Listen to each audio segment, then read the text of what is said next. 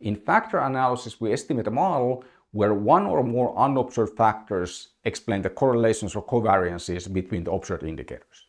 These factors are latent variables, which means that we don't observe the values for the factors. However, those values can be estimated. The estimates are called factor scores.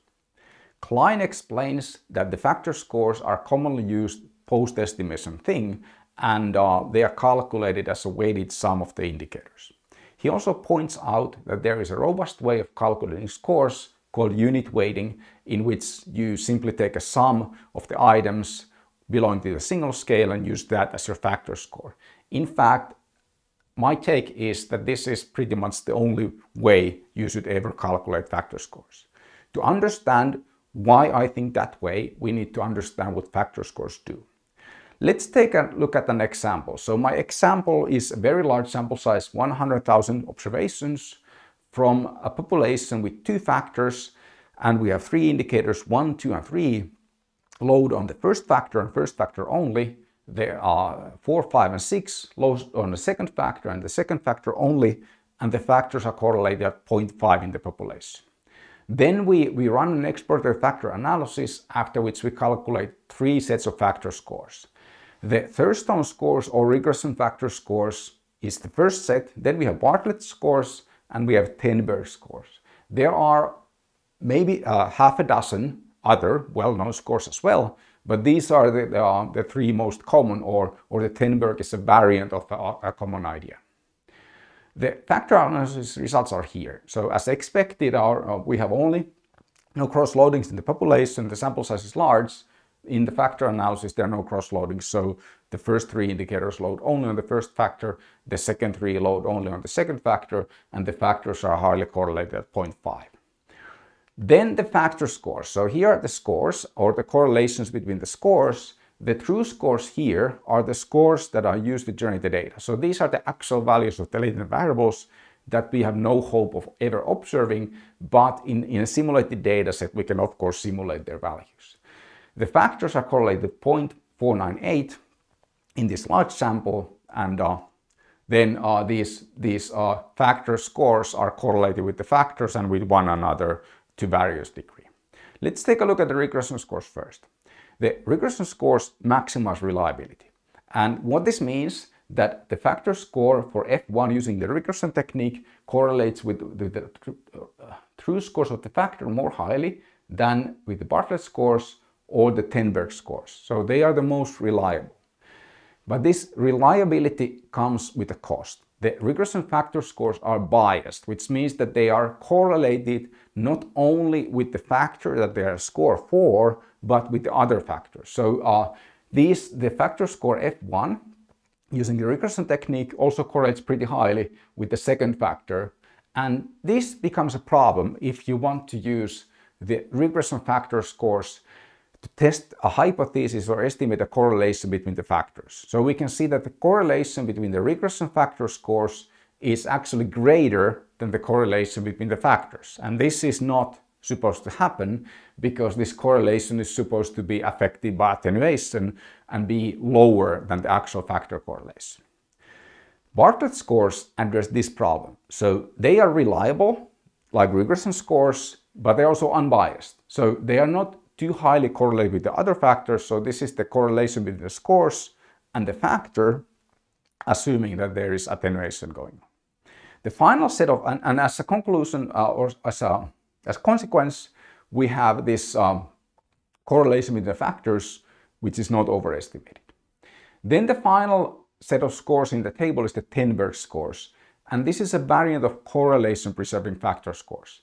The idea of correlation preserving factor scores is that the scores will correlate exactly the same amount as the factors. So if we have uh, a correlation matrix with three factors and they have three correlations, then with the correlation preserving factor scores, the three correlations between the, uh, the three factor scores would correlate exactly the same as the actual as the estimated factors. So which one should you use? The, the regression score is typically the default. And uh, this makes sense if the purpose of the scores is to rank order cases, but if the purpose of the scores is to test if the factors are correlated, then regression scores is probably the worst. Let's take a look at how these are actually calculated. When we think about scale scores, assume x1, x2 and x3 form one scale, x4, x5 and x6 form another scale. A researcher would normally calculate the scale score for the first scale as a mean of x1, x2 and x3 and a scale score for the second scale as a mean of x4, x5 and x6. But factor scores don't work that way. So every factor score is a weighted sum of every indicator in the model those that belong to the factor and those that also belong to other factors. And this is the reason why the regression scores are biased. If we look at the, the, the uh, scores for F1 and the weights, so, so uh, the scores for F1 are calculated using these weights, multiplying the indicators and taking a sum. We can see that the indicators for the second factor, x4, x5 and x6, are used to calculate scores for the first factor. Why is this the case? The reason is that the purpose of these scores is to maximize reliability. And if our indicators are measured with error, like they pretty much always are, then and factors are correlated, then indicators of, of F2 carry unique information of the variance of F1 as well. So we can get more reliable predictions of, of F1 by using also the indicators of F2. And that makes sense if you want to rank order cases, but if you want to test if the factors F1 and F2 are correlated or you use those factor scores to present some constructs, then that would be a really bad idea to use regression scores because of the bias.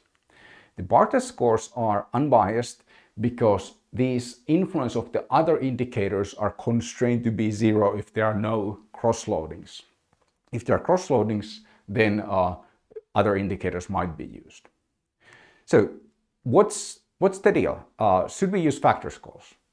The, the thing is that the reliability differences are pretty trivial. For, if you compare regression scores, the reliability is 0.883. For the regression scores for ten Berge scores is 0.882, 0.881, 0.882. So the difference is in the third digit. In the Bartlett scores, this is not a substantial uh, difference. And our sample size was very large.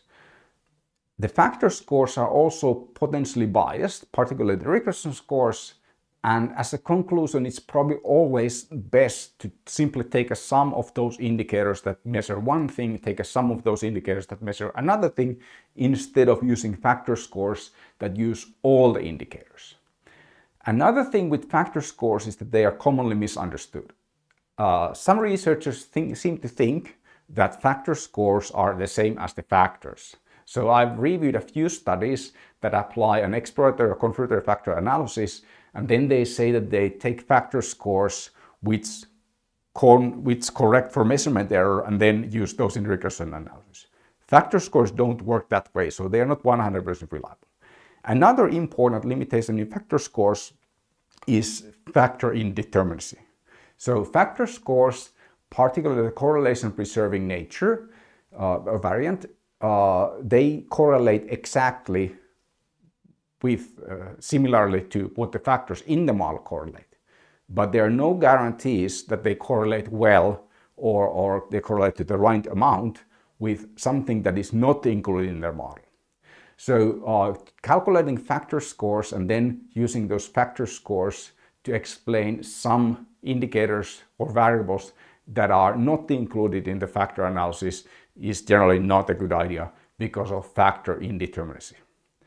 Then if you simply want to maximize reliability, calculate scale scores, as we point out in my article, there are dec decades of research that point out that any advantages of, of differentially weighting indicators is pretty much trivial compared to simply taking a sum of the indicators. But it's useful to understand what these do just to uh, caution researchers against not using them if you are, for example, a reviewer.